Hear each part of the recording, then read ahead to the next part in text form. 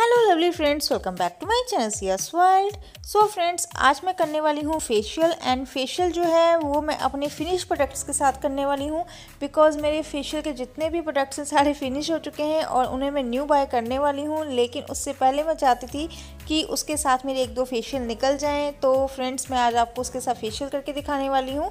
सबसे पहले मैं यहाँ पर यूज़ कर रही हूँ हिमालय का क्लिनजिंग मिल्क तो फ्रेंड्स आपको फेशियल करने से पहले स्किन को अच्छे से क्लीन कर लेना है। इसके लिए मैं यहाँ पर यूज़ करी हूँ हिमालय का क्लिनजिंग मिल्क अफोर्डेबल है और स्किन टाइप से तो इस तरह से मैं अपनी स्किन को अच्छे से मसाज करके जो इसकी ऊपरी डर्ट होगी, वो सारी क्लीन कर लूँगी। इसके बाद फ्रेंड्स आपको जो स्टेप्स हैं वो ध्यान से देखने हैं, ताकि आपके फेस पे वैसा ही ग्लो आए, जैसे कि आप पार्लर में या सैलून में जाके फेशियल करवाते हैं। तो फ्रेंड्स मैंने यहाँ पे फेस को इस स्पॉन्ज के साथ क्लीन कर लिया है। बेड सेंशियल का स्पॉन्ज है, काफ़ी अफोर्डेबल है। सो so, इसके बाद मैं यहाँ पे यूज़ करूँगी स्क्रब तो ये जो स्क्रब है लोटस हर्बल्स का वाइट ग्लो स्क्रब है काफ़ी अच्छा है. ये आपको इजीली ऑफ़ में मिल जाएगा. आप जैसे कि देख सकते हैं फ्रेंड्स मेरी जो ट्यूब है ऑलमोस्ट फिनिश हो चुकी है. सो so, मेरे पास एक ही ऑप्शन बचती है कि मैं इसे सीज़र से कट करके इसके अंदर से प्रोडक्ट जो है बचा हुआ उसे निकालने की कोशिश करूँ. बिकॉज़ जैसे कि आपको पता है कि ट्यूब्स के अंदर जो प्रोडक्ट होता है, वो बचा रहता है, जबकि हम ट्यूब्स को फेंक देते हैं। सो फ्रेंड्स मैं ना प्रोडक्ट्स को वेस्ट नहीं करती। मैं इस तरह से ट्यूब्स को काट कर फिर उसके अंदर से प्रोडक्ट्स जो निकलता है, उसे यूज़ कर लेती हूँ। तो फ्रेंड्स आप भी इस तरह से अपनी जो खाली ट्यूब्स होती हैं, उन्हें इस तरह से फेंका ना करें। उसे सीजर से कट करके उसके अंदर से काफ़ी प्रोडक्ट्स आपको मिल सकता है। मीन्स कि आप मानेंगे नहीं कि इसके साथ मैंने एक दो फेशियल का रूटीन किया है तो इसलिए मैं आपको कह रही हूँ कि अगर आपको लगे कि आपकी जो ट्यूब है फिनिश हो चुकी है तो इसे सीजर से कट करके उसे, उसके अंदर से जो प्रोडक्ट बचा हुआ है, उसे निकाल के यूज़ करिए। तो फ्रेंड्स इस तरह से मैं अपने फेस को अच्छे से स्क्रब कर लूँगी एक्सफोलिएट कर लूँगी। काफ़ी अच्छा है एंड आप देख सकते हैं स्किन में डिफरेंस कितना अच्छा आया है। और इसके बाद मैं यूज़ यूज़ कर रही हूँ द फेस शॉप की जेल एंड आप देख सकते हैं, ये भी पूरा जो बॉक्स है मेरा फिनिश हो चुका है और आज मेरे सारे ही प्रोडक्ट्स फिनिश हो चुके हैं और सारे ही बाय करने वाले हैं।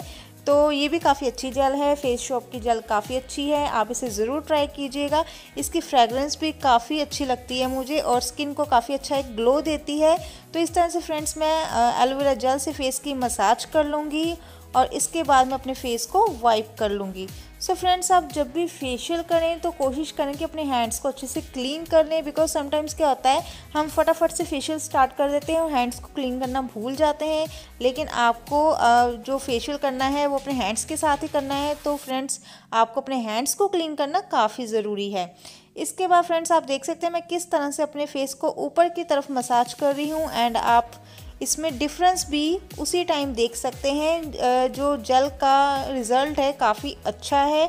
आप, मैं कहूँगी इसे एक बार ज़रूर ट्राई करें। इसके बाद मैं लोटस की हर्बल मसाज जल यहाँ पर अप्लाई करके दिखा रही हूँ। एंड आप देख सकते हैं ये ये किस तरह से मेरे चिन पे इस तरह से थोड़ा सा क्रीम का बन गया था। सो so फ्रेंड्स ये जो क्रीम है, ये भी मेरी ऑलमोस्ट फिनिश है।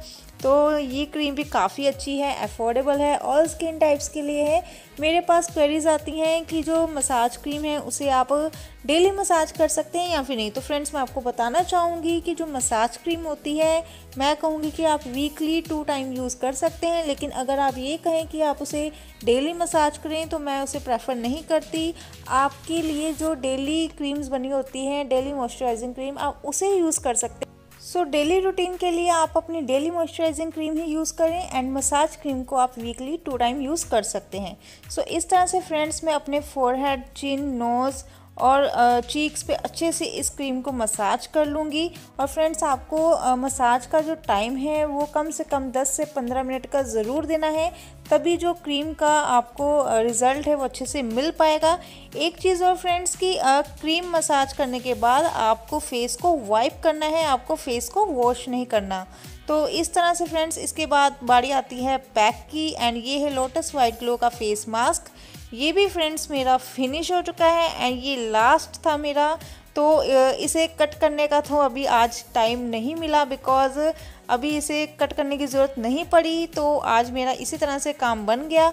सो नेक्स्ट टाइम मैं जब इसे यूज़ करूँगी तो इसे कट करके ही यूज़ करना पड़ेगा। एंड फ्रेंड्स इसे मैंने अपने पूरे फेस पे ऊपर की तरफ़ इस तरह से अप्लाई कर लिया है और इसे मैं 10 से 15 मिनट तक अपने फेस पे रहने दूँगी। उसके बाद मैं अपने फेस को वाइप करने के बाद स्किन को मॉइस्चराइज कर दूँगी, किसी भी स्किन मॉइस्चराइजिंग क्रीम के साथ।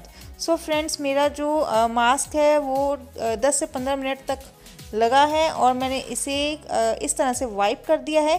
फ्रेंड्स आपको फेशियल के बाद ना अपने फेस पे पानी नहीं लगाना होता, इस बात का ध्यान रखें। पैक रिमूव करने के बाद आपको सिर्फ़ मॉइस्चराइजिंग क्रीम अप्लाई करनी है।